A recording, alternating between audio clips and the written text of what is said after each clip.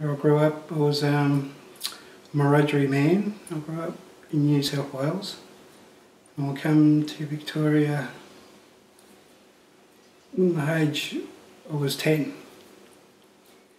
Yeah, we grew up just, we was um, with my cousins and my aunties, uncles and, and me seven I was in the family, my brothers and sisters. And um, they were good days, like I remember his dad always just take me like fishing and show me how to live off the land and stuff like that. And um, yeah, my mum uh, passed away and then I ended up, they took me.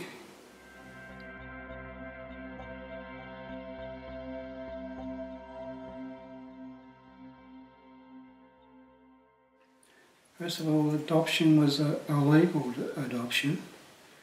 They um, first they said they got me out of a newspaper from Queensland was a program going on, and this was an adopted family, mm-hmm. and they ordered me through the mail. They um, adopted me, had me for six or seven months and then they stuck me in the institution, stuck me in the boys' homes. There was no Indigenous people in there. It was only two of us. There was another guy, and um, but they kept us separated. If we talked to each other, he was he was in another cottage for a family, but we used to come over weekends and stay where we were. And if we talked to each other, they um, used to make us fight each other. that was their rule. Dad was fighting for me rights to get me back home. It took him since the age of 10 to the age I was 15. And he sent me older sister down. She found out where I was in a boys, boys home. And um, she went back and told him. And then my dad and my auntie, my mum's sister, she um, they organised try to get me out. They, but they couldn't I was 15. I never gave up. They had no legal rights to take me in the first place. I didn't even know I was adopted. I thought I was just fostered or I, till I got my original documents. Like.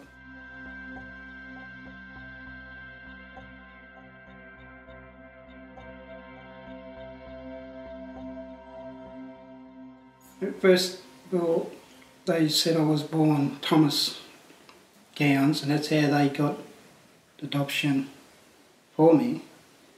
When I went back through my other records, they found out when I was first born, I was born under Thomas Christian.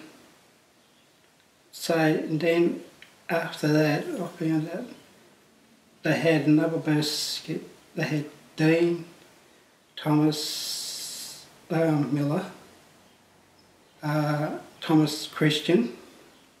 They gave me one, two, three different birth dates I was born, two places I was born, Griffiths and Finley.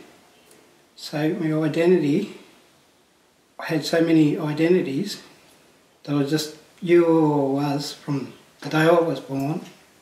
I was always my dad's name, Thomas Lyons. I had to prove that I was that person. Um, I challenged me parents that they weren't my parents. They challenged their marriage. I got married, me and my wife. We um, got married and they made out. They said we weren't married. I've been with my wife for 40 years, you know, long time, and um, I reckon we're not married. Yeah, something's wrong with that system. You, you're married one minute and next minute you're not. So I don't understand that.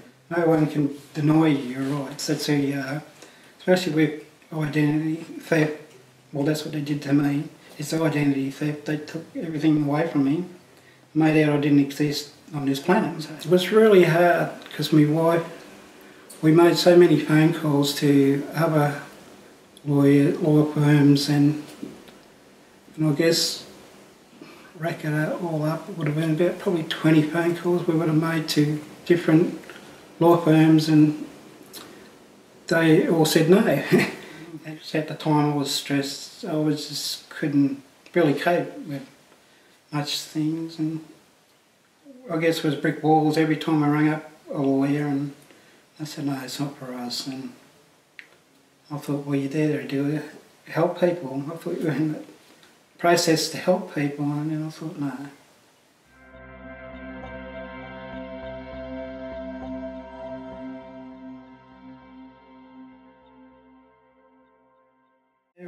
It was pretty quick.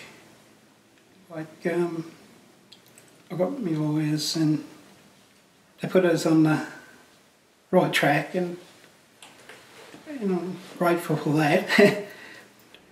At first, they were made me feel um, comfortable when I went into see them.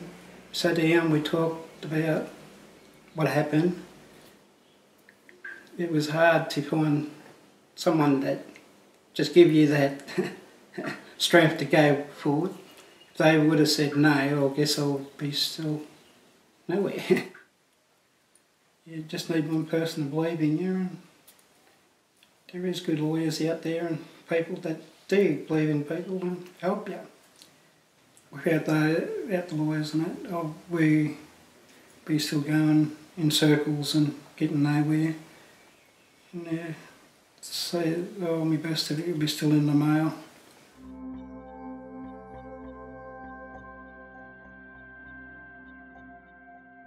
Court was um, very stressful. Um, I guess it brought a lot of old wounds up, like when I was a kid and had to face those traumas in boys' homes and I had to relive most of that again.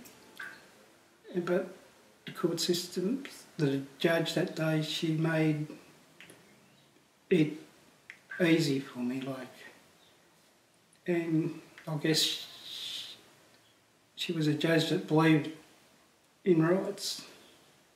It was good to have family there for their support and just to show that um, the courts that I had, I was had a family that, um, but they were tried to take that away from me and my identity.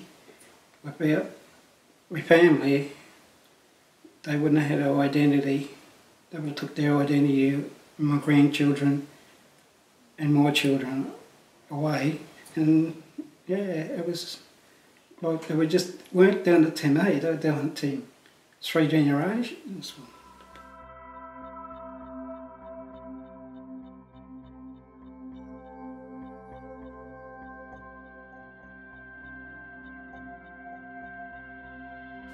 Sometimes I looked at it and I thought, geez, I've got to keep going. She kept pushing. They, my family always pushed me like, don't give up. And boy, we come from a fighting background, so we never give up. Like, well, about your identity is you nobody, and um, my dad fought for his rights, and we are somebody, and I guess if it happens to me, it could happens to anybody.